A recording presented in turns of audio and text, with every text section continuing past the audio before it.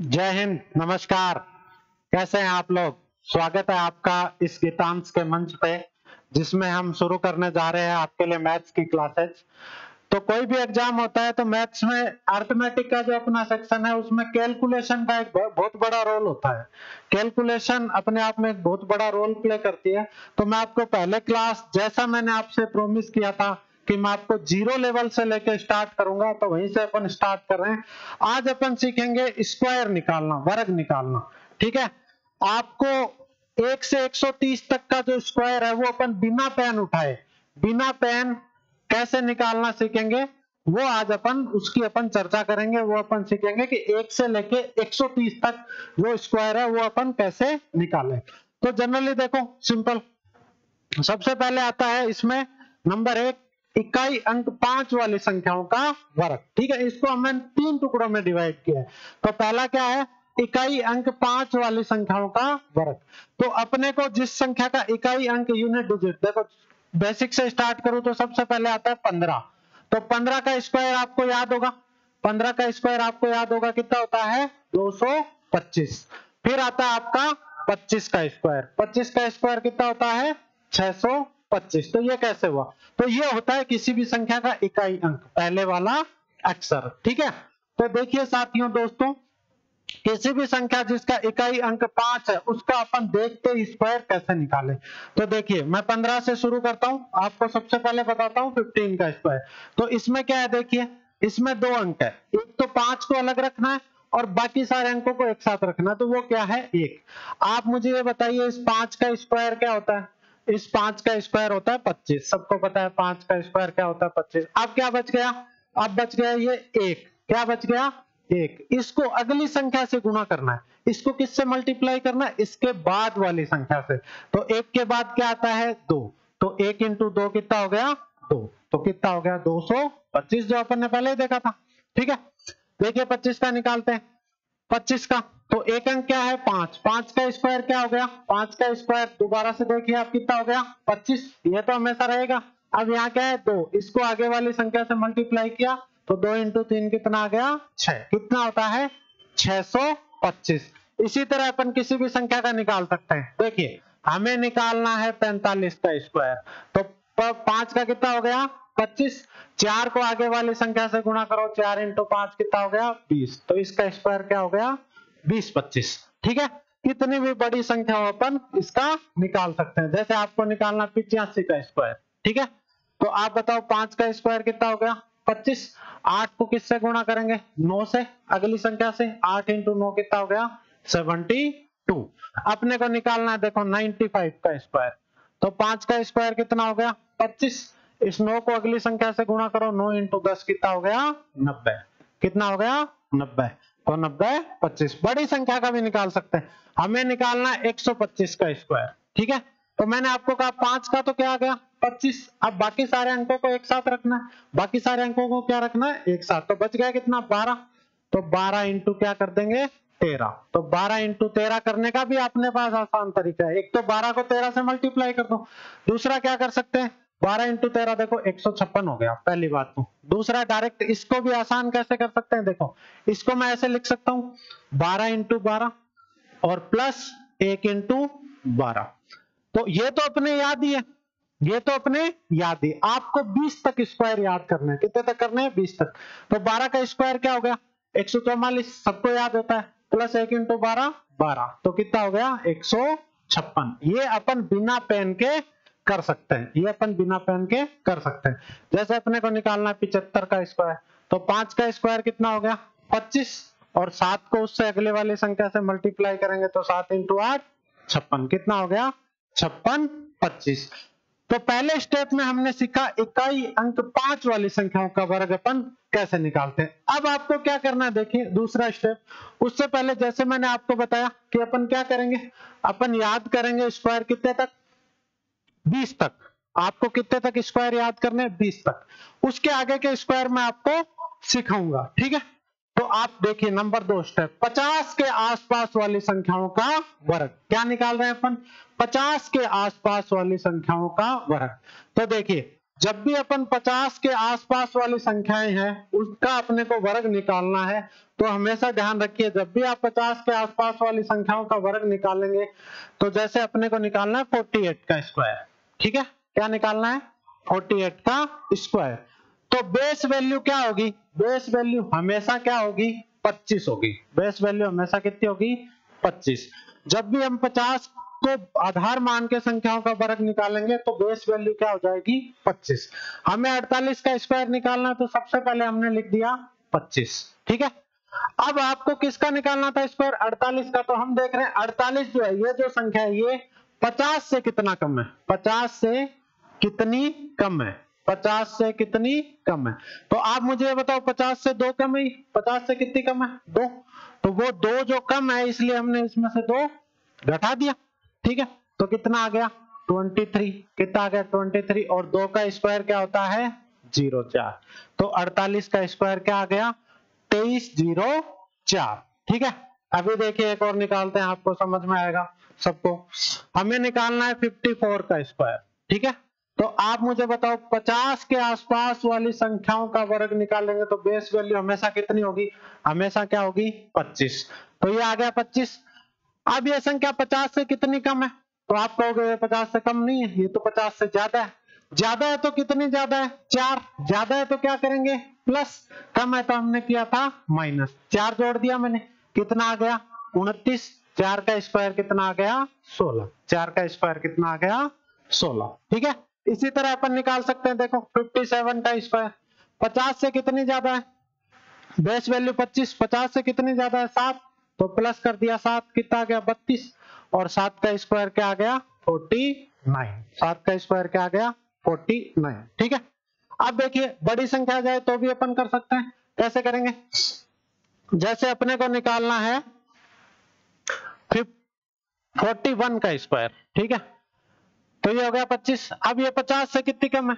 पचास से कितनी कम है? नौ।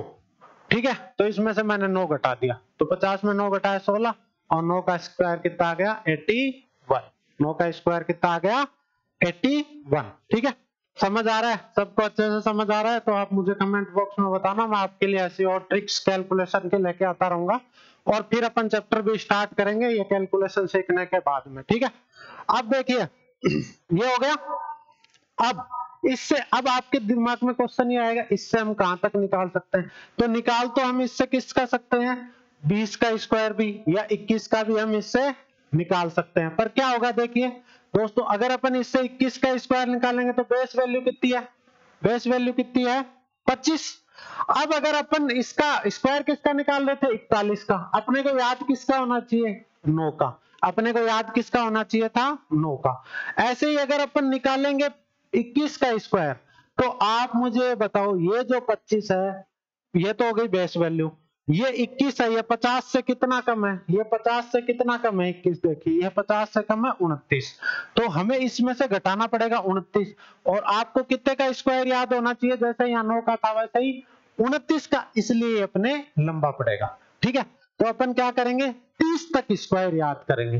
तो 20 तक तो आपको याद करना है। बाकी मैं आपको याद करा देता हूँ अभी देखिए। ठीक है? 20 तक तो आप याद करेंगे। बाकी मैं आपको याद करा देता हूँ। सिंपल तरीके से, जिससे आपको फटाफट क्या हो जाएँगे याद। तो आपको क्या करना है? एक से बीस। तो लर्न करने, याद करने, ठीक है?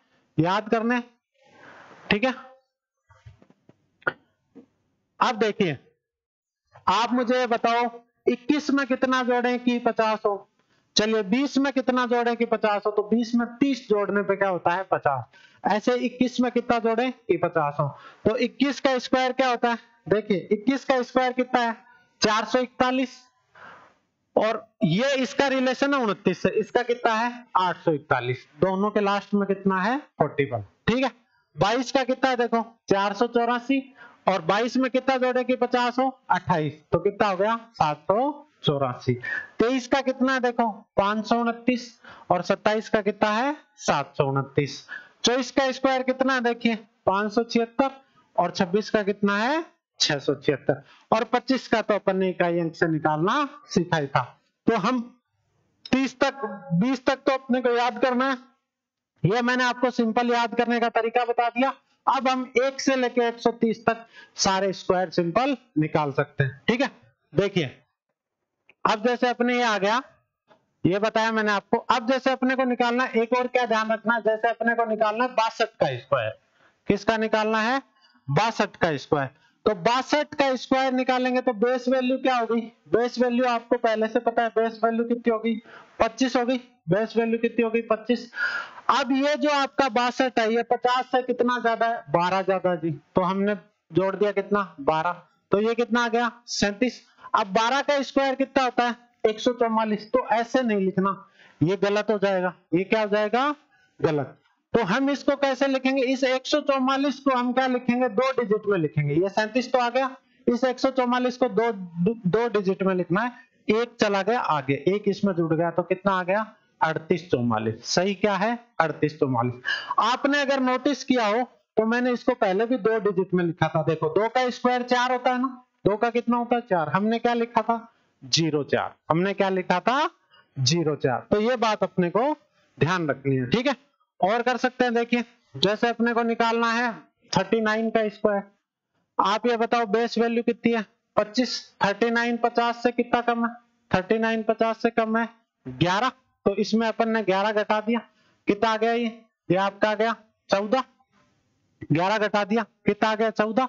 और ग्यारह का स्क्वायर कितना है? एक सौ इक्कीस। तो एक तो आगे जुड़ जाएगा, ठीक है? कितना आ गया? पंद्रह इक्कीस। क्या आ गया? पंद्रह इक्कीस। तो आराम से अपन तीस इकतीस से लेकर सत्तर तक स्क्वायर इससे अपन आराम से निकाल सकते हैं। आगे चलिए, देखिए। ठीक है? आगे चलिए। अब सौ के आसपास वाली संख्याओं का स्क्वायर ठीक है? तो हमने क्या किया? हमने देखो, आपको बताता हूँ, एक से बीस तक तो क्या कर लिए? एक से बीस तक तो याद। ठीक है? याद कर लिए। इक्कीस से तीस तक मैं आपको सिंपल तरीका बता दिया याद करने का। ठीक है? सिंपल मेथड बताई याद करने की। और 31 से 31 से लेके 70 तक आराम से 70 पिछहत्तर तक आराम से अपन किससे निकालेंगे? 50 वाले से। किससे निकालेंगे? 50 वाले से।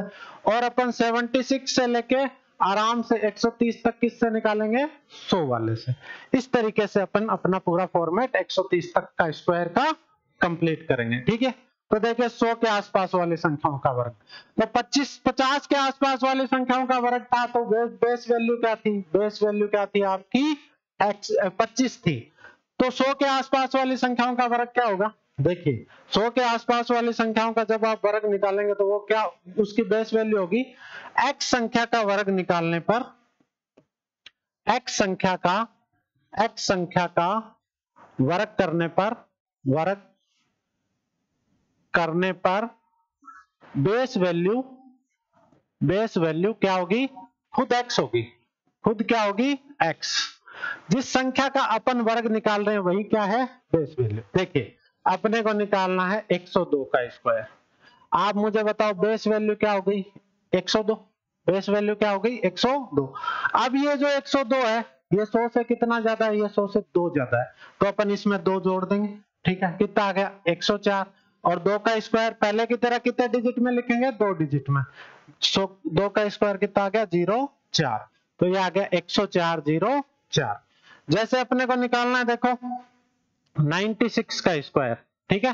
तो बेस वैल्यू क्या हो गई खुद 96 बेस वैल्यू क्या हो गई खुद 96 96 जो है, वो 100 से कितना कम है? वो 100 से कम है चार। तो मैंने इसमें से चार घटा दिया, क्या आ गया? 92 और चार का स्क्वायर क्या आ गया? 16 तो कितना आ गया? 92 16 ठीक है? और सीखते हैं अपन, देखो। और सीखते हैं। 108 का निकालना मुझे। 108 का स्क्वायर। सो तो बेस वैल्यू क्या होगी? 108 अब ये 100 से कितना ज़्यादा है? 8 116 8 का स्क्वायर कितना आ गया? चौसठ। आठ का स्क्वायर कितना आ गया? चौसठ। हमें जो 91 का निकालना है। 91 तो बेस वैल्यू क्या होगी? 91 ये 100 से कितना कम है? नो। नो का मैं नो घटाया तो 82 और नौ का स्क्वायर क्या आ गया? 81 बड़ी संख्या का निकालना है। हमें 114 का निकाल के बताओ आप। 114 का। चलिए 114 का निकाल देंगे हम। अभी देखिए फटाफट। बेस वैल्यू क्या है? 114 100 से कितनी ज़्यादा है? 14 कितना आ गया? 128 और 14 का स्क्वायर कितना है? 196 कितने अंकों में आ गया? तीन में। हमें किसमें लिखना है? दो में। तो एक चला गया आगे और 96 यहाँ जुड़ गया। तो क्या आ गया? One two nine nine six कितना आ गया? One two nine nine six धीरे धीरे आप थोड़ी सी प्रैक्टिस करोगे तो आप आराम से फटाफट एक से 130 तक स्क्वायर निकालना सीख जाएँगे। ठीक है? अभी देखिए मैं आपको एक और बताता हूँ। जैसे अपने को निकालना है 80 88 का। ठीक है? तो 100 से कितना कम है? 12 इसमें से मैंने 12 घटा दिया। कितना आ गया? 76 12 का स्क्वायर क्या होता है? 144 एक चला गया आगे तो क्या हो गया? Double seven double four. Double seven but double four. तो ये आज आपकी क्लास थी, जिसमें हमने ये सीखा कि कैसे हम एक से लेके 130 पर 30 तक स्क्वायर निकाल सकते हैं। तो गीतांश पे मैं आज पहली बार क्लासेज स्टार्ट कर रहा हूँ। तो आप लोग कमेंट में मुझे बताना इस वीडियो के माध्यम से कि आपको क्लास कैसी लगी, क्या आपके लिए यूजफुल है। मैं फिर आपके लिए वर्गमूल निकालने की जो ट्रिक है, बिना पेन उठाए अपन स्क्वायर रूट वर्गमूल कैसे निकाले, वो लेके आऊँगा। ठीक है? दोबारा बताता हूँ, हमने क्या क्या किया? ठीक है? सबसे पहले हमने क्या किया? सबसे पहले हमने किया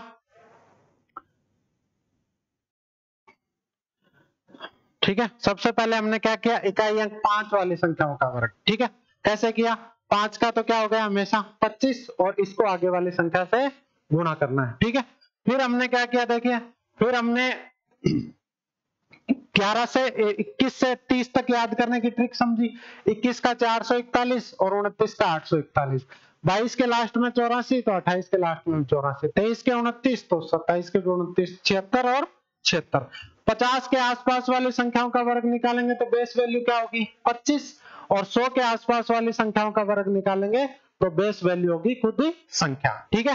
तो मैं आपके लिए तीन स्क्वायर छोड़ के जा रहा हूँ, जो आप फटाफट मुझे करके और कमेंट सेक्शन में इसके आंसर बताओगे, ठीक है? तो आप कैसे 135 का स्क्वायर कैसे निकालेंगे? पाँच वाले से बताना ये। आप मुझे बताएँगे इकसठ का स्क्वायर कैसे निकालेंगे? आप मुझे बताएँगे 116 का स्क्वायर कैसे निकालेंगे? ये पाँच वाले से निकालेंगे, ये पचास वाले से, और ये आप निकालेंगे सौ वाले से। इन तीनों के आंसर आप मुझे कमेंट सेक्शन में बताएँगे। तो कैसा रहा सेक्शन अपना सेशन कमेंट सेक्शन में आप ज़रूर बताइए। आपके लिए मैं ऐसे ही वीडियो लेके आऊँगा। जय हिंद, जय भारत।